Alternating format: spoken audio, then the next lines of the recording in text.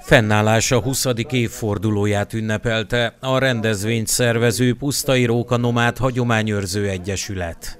Bőjte Csaba Ferences rendi szerzetes egy rádió beszélgetésében azt mondta, hogy ha, ha van egy jó kezdeményezés, és van egy jó ügy, akkor hirtelen nagyon sok ember nagyon sok jó ember meg tud jelenni, és mellé tud állni annak az ügynek. Én hiszem azt, hogy a, a mi rendezvényünk is egy ilyen jó kezdeményezés.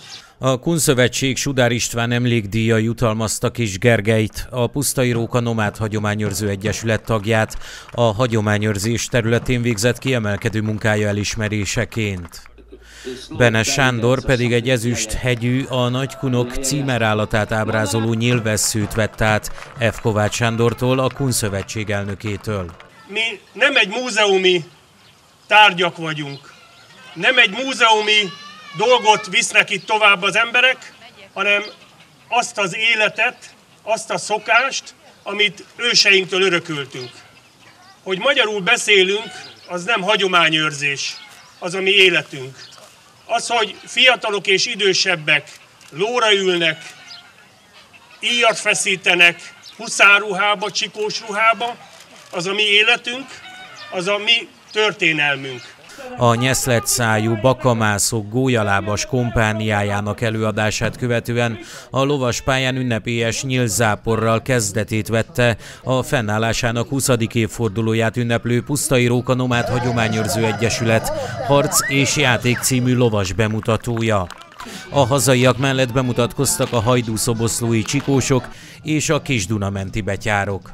És hogyha itt vagyunk a magyar alföld közepén, a kunság szívében, Karcagon, ezen a gyönyörű helyen, akkor a hangulatban érezzük, amely hatalmába kerít bennünket, a régi őseinknek, magyar, kun, kun őseinknek az örökségét, a tájat, amelyben éltek, és azokat a hagyományokat a viseletben, a lótartásban, a harcban, a egymás közötti viszonyokban, barátkozásban, amelyek megtartották ezt a nemzetet 1100 éven keresztül itt a Kárpát-Berencében, vagy talán régebben is. A magyar könnyű lovasság történetét a Pusztai Róka Nomád Hagyományőrző Egyesület és a Kovács Mihály Huszárbandírium mutatta be. A Puszta ötös lovas bemutató mellett lovas ügyességi verseny és magyar kutyafajta bemutató is zajlott.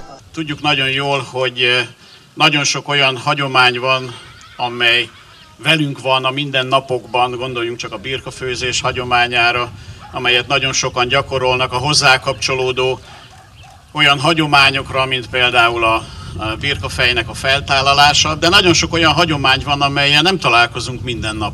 Ilyen ez a mai rendezvény is, hiszen a lovas játékokkal, a harci nomád játékokkal nem minden nap találkozik az átlagember. A főprogramok mellett számtalan kísérő programból válogathattak a kilátogatók. Vásártéri bemutató, kunsági ételek kóstolása, lovas kocsikázás, állatsimogató népi játszótér, fotókiállítások, eszközbemutatók és előadások.